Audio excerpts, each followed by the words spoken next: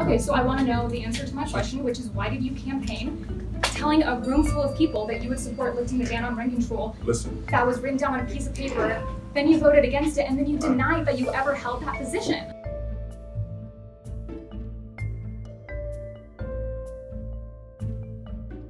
That's I, not I understand your position. I've, I've heard you. I've heard it via social media for the last, I don't know, six or seven months.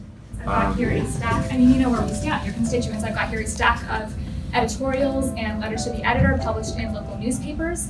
Um, If you wanna, you if out you wanna for that. hijack a public event, be my guest. Um, We're gonna leave at 7:45 no matter what. Um, actually, this is a town hall. It was called a housing town hall. Um, It's a it's a public public event. event, and I'm a member of the public. I'm also your constituent. If you want to call that hijacking, because No, I'm asking if- you about something that Well, you disagree actually, with. my stance on rent control is very clear at this point. How you feel about a conversation two years ago versus a conversation in April versus a conversation 10 minutes ago. Your position shouldn't change after you get elected. When you tell a room full of people what My you're willing stance on rent control is abundantly clear.